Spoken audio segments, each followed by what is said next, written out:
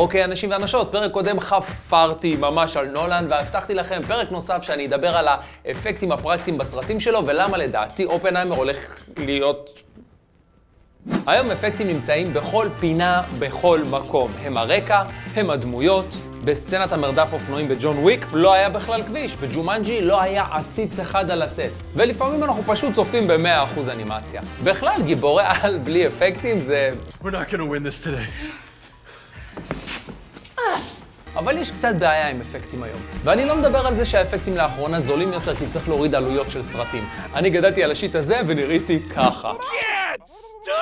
אני יותר מתכוון לפילוסופיה מאחורי האפקט. היום הסטודיו הגדולים מצלמים כמה שיותר באולפן ומשאירים את הכל לפוסט. יש בכלל תפיסה שככל שיש יותר אפקטים ויותר השקעה, אנחנו נהיה יותר מרוצים. וזו טעות פטאלית. כי ככל שאנחנו נחשפים למשהו יותר, אנחנו נהיים אדישים אליו, כמו בקטריה מפתחת עמידות לאנטיביוטיקה. מי מכם לא בהה בנטפליקס שעה וחצי ולא ידע מה לבחור מרוב מגוון? ההורים שלי היו מקבלים פעם בשבוע סרט ערבי, כולם דבוקים על המסך, סבתא שלי, לא, לא, לא. אנשים רעבים באפריקה, וזה אני מנהל שיחה עם אשתי על אוכל. Do you want? It's not that simple. What It's... do you want? בעיה של אנשים שבעים, כי ככל שיש יותר, אנחנו נהיים אדישים. ראינו את ה TIE fighters מלא פעמים בסטאר וורס, וזה אף פעם לא מרשים באמת. כמו צעצוע שעף בשמיים, טיו טיו טיו. אבל תראו באנדור, כשיש TIE fighter בודד שמפטרל על רקע אמיתי, בלי בלאגן ועם סאונד נכון, איזה כבוד הוא מקבל.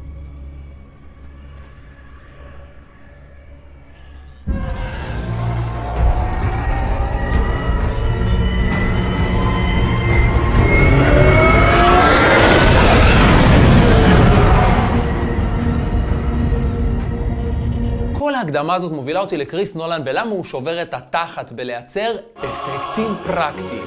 הוא מבין שאם הוא כובל את עצמו בצורה כזו או אחרת למציאות, התוצאה יותר מציאותית. באביר האפל, כשהיינו בקולנוע בשוט הזה, קולנוע שלם עשה... כי זה אשכרה צולם באמת. כפיים! דוגמה נוספת, הוא בנה מודל של הבאטמוביל, והסצנה הזאת גם הייתה אמיתית. כנ"ל הבאטווינג וכנ"ל האופנוע. דיברתי על השוט הזה באינספשן בריוורס שהתפוצץ. אגב, תודה.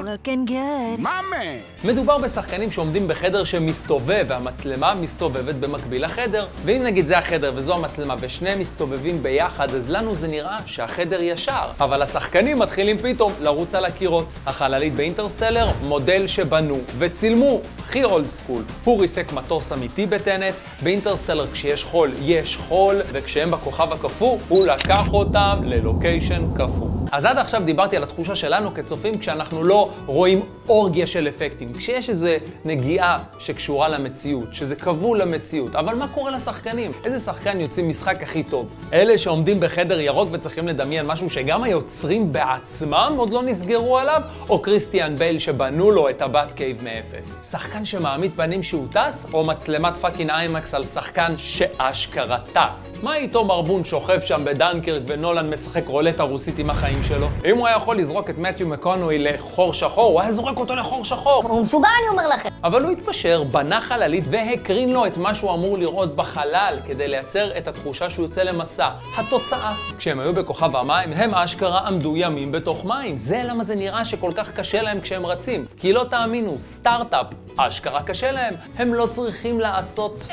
כמובן שזה לא אומר שהוא לא משתמש באפקטים אף פעם, הוא לא מורמוני, אבל הוא לא נשען עליהם, הוא משתמש עליהם כדי להוסיף לסצנה או לייצר משהו שהוא לא היה יכול אחרת. בשוט המדהים הזה באינספשן כמובן שיש תלת, אבל אל תחשבו שהוא לא ניצל את ההזדמנות לפגום בשלוות רוחם של האירופאים. תראו את השוט הזה של המראה, אין פה אפקטים, הוא הביא מראות ענקיות, אבל כן העלים את המצלמה בפוסט. ובסצנה הזאת, שימו לב שלא הכל CG, רק חלק מהאפקט. זאת הסיבה שהוא הרגיש לנו איקוני וכולם זוכרים אותו, ואת השוטים האלה פחות. אבל גם כשהכל CG, עדיין יש לו אובססיה וחשיבות לדבוק באמת. כדי לייצר את החור שחור באינטרסטלר, הוא ישב עם פיזיקאים, עבר על המספרים ונתן המחשה ויזואלית לאיך חור שחור צריך להיראות. הוא יכל סתם להמציא משהו מהדמיון, נכון? כמו בסטאר טרק. אבל מכיוון שהיה לו אכפת מהמציאות, איך חור שחור באמת נראה, קיבלנו משהו שמרגיש שונה ואמיתי. ואתם יודעים מה? זה לא סתם שונה ואמיתי, הוא אשכרה חזה איך חור שחור ייראה. ב-2021 שוגר לחלל טלסקופ ג'יימס ווב והביא לנו את ה image הראשון של חור שחור, שימו לב. We didn't get it right at all. There's no crossbar here. And it's brighter on one side, we're not brighter on one side there. So what's going on? Here is one way to understand what's going on. The camera for the movie Interstellar is near the plane of the disk, and so that's what it looks like in Interstellar. But we're going to move the camera up to the North Pole and see what happens. It's pretty obvious.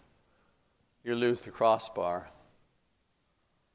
And then you blur things out because the radio astronomers don't have very good uh, angular res- resolution. הרבה זקנים מתלוננים על הקולנוע היום, כמו סקורסזי שאומר שמרוויל זה לא קולנוע. The value of a film that's like a uh, theme park film, for example, uh, the Marvel type pictures, where, where the theaters become amusement parks, that's a different experience. And it's like, it's not even, it's, I was saying earlier, it's not cinema, it's something else. עכשיו, אני לא מסכים, אבל אני מבין מאיפה הם באים. בצילום של סרטים קלאסיים היה הרבה מחשבה על התהליך של היצירה. לא דמיינו מוצר סופי ואמרו, יאללה, יאללה, איך תקתיקים את זה כמה שיותר מהר. הייתה חשיבות לדרך. נולן לא היה חייב לצלם באיימקס ולהמציא פילים בשחור לבן לסרט. הוא לא היה חייב לשחזר אחד לאחד את לוס אלמוס ולהעביר את כל הצוות לגור שם. לא היה חייב לצלם בבית האמיתי של אופנהיימר או בפרינסטון. לא היה חייב לעשות את כל האפקטים הפרקטיים המסורבלים שדיברתי עליהם בפרק, ובטח שלא לייצר פצצת אטום ללא אפקטים. אבל הוא עשה את זה, כי הוא מאמין שבאומנות הדרך היא מה שיוצרת את ההבדל. ובתרבות של מלחמות סטרים שכולם רק רוצים להוציא כמה שיותר תוכן ולהביא מנויים, אין יותר מדי זמן ומשמעות לדרך, ועל כן אין משמעות לתוצאה. זה כמו לזכות בלוטו או להרוויח כסף, להתנשק עם מישהי או מישהו שהייתם אוהבים בהם שנתיים, או סטוץ במועדון. התוצאה שווה, אבל באחד מהם יש הרבה יותר ריקנות. זאת לדעתי קצת הריקנות שאנחנו מרגישים בשנים האחרונות בקולנוע. וזה למה אופנהיימר זה סרט שבא להילחם על המדיום של הקולנוע. איך שאני רואה את זה, ולא ראיתי את הסרט עדיין, כן, זורק ספקולציות פה. זה סרט חשוב, ודיר בל אללק. אתם נותנים לו להתרסק בגלל פרחה בלונדה שלובשת ורוד. תלכו לשני סרטים אם צריך. צאו מאופנהיימר קודם כל, ואז בואו, תחליפו, לכו לברבי. אוהב אתכם אנשים ואנשות, נשתמע.